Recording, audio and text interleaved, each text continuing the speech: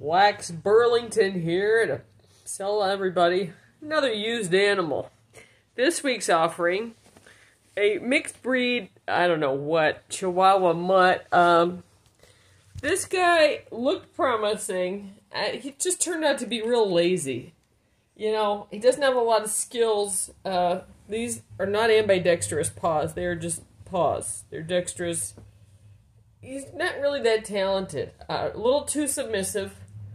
Um, I'm kind of in the market for like a riding lawnmower or one of those um, X-Acto blades that retracts on command. Those have you heard of voice activated X-Acto blades? Someone to take offers. Um, this buddy's up for grabs. Very docile, if you're into that kind of thing. Affectionate. I don't know, overrated.